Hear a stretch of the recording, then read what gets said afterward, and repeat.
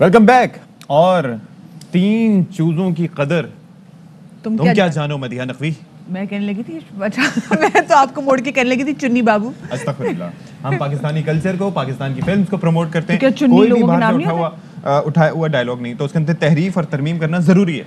अच्छा ओके चलो ठीक है जी। हाँ। तो दोबारा से कह दे डायलॉग बोल दिया मैंने सुन लिया सुनने वालों ने। तीन चूजों के वैसे क्या? तीन चूजों की क्या कदर कह रहे अगेन नो नो अच्छा जी तो बेसिकली जो सती बात करे वो ये कि इस्लामाबाद के एक रिहायशी जिन्होंने तीन चूजे घर में पाले और उनको इतनी मोहब्बत थी उनको इतनी लगन थी and he so wanted to do something about it कि आहिस्ता आहिस्ता करते करते सती उन्होंने कितने अरसे में किया उन्होंने शेर वाइट टाइगर ये आप मुझसे पूछेंगे हाँ। आज हेरन ये पोनी आप देख रहे हैं ये जीब्राज आप देख रहे हैं ये देखें भाई मतलब क्या खूबसूरत हिरन और रंग बरंगी मछलियाँ इनके पास और क्या? कुछ नहीं व्हाट नॉट मतलब कहाँ तीन ये कहाँ तीन चूजों से सफ़र शुरू किया था और उसके बाद इनका अपना चिड़ियाघर है? क्या बात है। हम्म। बिल्कुल जी ज़बरदस्त।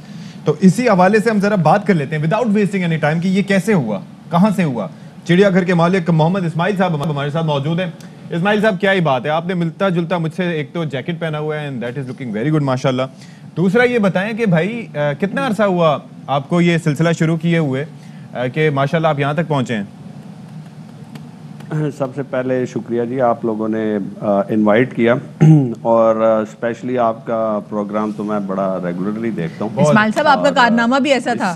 आपको ना बुलाते तो कहाँ जाते? और और आप के इस प्रोग्राम की वजह से हमारी सुबह भी अच्छी हो जाती है। चलें जी बहुत अच्छी बात है। बहुत अच्छा जो आपने क्वेश्चन किया कि ये तीन चीज़ों के हवाले से बेसिकली uh, uh, आज से क्या ले 2009-10 की ये बात है about. ओह, तो मैंने उस वक्त ये स्टार्ट किए थे अपने छत से स्टार्ट किया था Okay. और वन थाउज़ेंड रुपीज़ से। और अ, मुझे उस वक्त क्रेज़ था बड़ा पेट्स का क्रेज़ था। तो hmm. मेरे पास जो पैसे थे उन पे मैंने ये ले लिए। ये इम्पोर्टेड एक ब्रीड है अ, मुर्गियों की उसके चूजे थे। ओके तो उस पे वर्किंग शुरू की उनको बड़ा किया और वो जो आजकल इमरान खान साहब का जो एक था कॉन्सेप्ट के जी जी। अम, लोगों को मुर्गियाँ दें और उनका रोज़गार पोल्ट्री फार्म बनाए फिर सब कुछ आगे। जी तो जी पूरा प्लान था। हाँ जी जी। हाँ जी जी। जी जी। अच्छा मेरा मेरी तो स्टोरी वही है। और मैंने फिर जब बड़े हुए इनके एग सेल करना इनके बच्चे बड़े करना और ब्रीड दैट करना तो करते करते ये सफ़र तकरीबन मुझे आज मैं स्टेज पे हूँ कि मेरी अपनी पाकिस्तान की पहली कंपनी है जो प्रॉपरली जू डेवलपमेंट कंपनी है। ठीक है? और इस वक्त आप कह लें कि रावलपिंडी इस्लामाबाद और काफ़ी और शहरों में भी जो बड़े बड़े जूज हैं समझे कि उनमें मेरा कोई ना कोई किरदार अच्छा, है मुझे ये बताएँ मोहम्मद इस्माइल साहब आपने परिंद से शुरू किया और उसको चरिंद तक लेके गए तो ये कैसे हुआ? मतलब आपने जैसे कहा कि मखसूस एक बड़ी स्पेशल एक ब्रीड थी उनकी मुर्गियों की जिसके आपने तीन चूजे लिए आपने परवान चढ़ाना शुरू किया।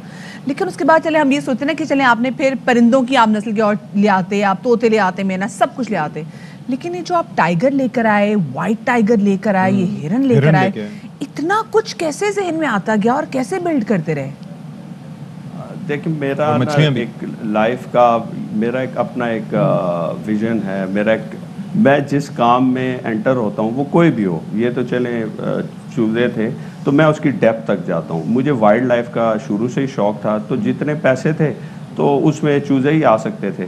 तो फिर स्टेप वाइज मैंने आहिस्ता आहिस्ता इनको स्टडी करना शुरू किया। चिड़िया घरों में जाता था देखता था। तो आ, आ, इन ब्रीड्स को बढ़ाता गया फिर हिरनों में आ गया। फिर मैं अभी इस वक्त मेरे पास वाइट टाइगर हैं बंगाल टाइगर हैं। मेरे पास अफ्रीकन लाइन्स हैं मेरे पास अ, वाओ। अभी मेरी इंपोर्ट आ रही है अभी आजकल इंपोर्ट बंद है बाहर से। जैगवार्स आ रहे हैं लेपर्ड्स आ रहे हैं।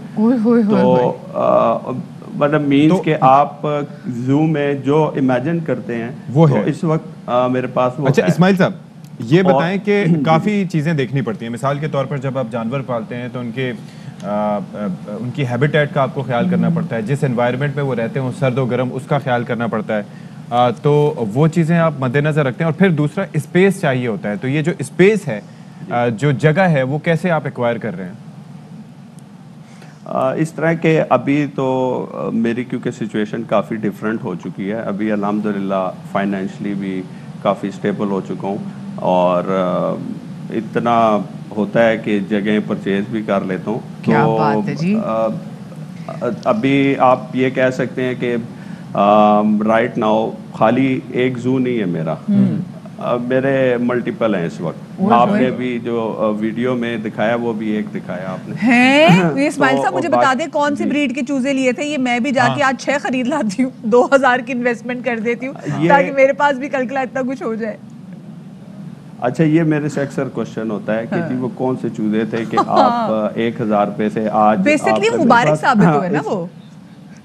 हाँ अभी आप कह सकते हैं कि इस वक्त मेरे पास करोड़ों के नहीं अरबों के प्रोजेक्ट्स हैं क्या माशाल्लाह है। माशाल्लाह जी। मैंने अब अच्छा, मैंने अब तो कट्टे खरीदे बात मैं अब, अब बात ये कि बात वो चूज़ों की नहीं है। आप किस कॉन्सेप्ट से चल रहे हैं ठीक है? आपका विजन क्या है? मेरा विजन था मैंने इस फ़ील्ड में आगे तक जाना और पाकिस्तान में इससे आगे मेरे ख्याल में वाइल्ड लाइफ में आप नहीं जा सकते। आपने इसका एंड यही होता है कि आप जू बनाना शुरू कर दें जी, जी, जी। या आपके अपने आप की जू की कंपनी हो जाए तो वो मेरी हो गई है। क्या बात है अल्हम्दुलिल्लाह जी। मोर देन हंड्रेड एम्प्लॉयज़ हैं मेरे ठीक है। और एक टाइम था कि मैं खुद बाइक्स पे जाता था खुद ये सारे एक्सपेंसेस का ख्याल आप खुद रख रहे हैं ये लोग आपको देते हैं ये कैसे चलता है ये बता दें जल्दी से। सब एक्सपेंसेस ईच एंड एवरीथिंग खुद करता हूँ। ठीक है?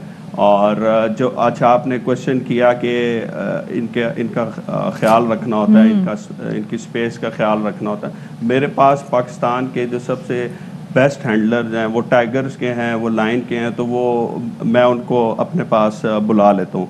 अगर वो डियर का कोई हैंड क्योंकि मुझे खुद भी शौक रहा है मैं इस फ़ील्ड को समझता हूँ तो पाकिस्तान में मेरी नज़र होती है किस जू में कौन सा बंदा है वो पैशनेटेड है अबाउट। हिज वर्क तो वो मेरे मैं उसको अपने पास बुला वैसे हूँ। एम श्योर कराची जू से आपको कोई नहीं मिला होगा। पैशनेटेड लोगों की पैशनेट आदमी या कराची से भी कोई मिला आपको कराची के चिड़ियाघर से जहाँ पर जो शेरों का शेर उन्होंने किया था नहीं कराची से तो नहीं आ, मेरे चले चलिए जी अल्लाह करे आपके पास सारे अच्छे अच्छे ही ट्रेनर्स रहे और आपका जो जू है फिर उसके बाद हम भी आपका जू ज़रूर देखने आएँगे। बहुत शुक्रिया जी।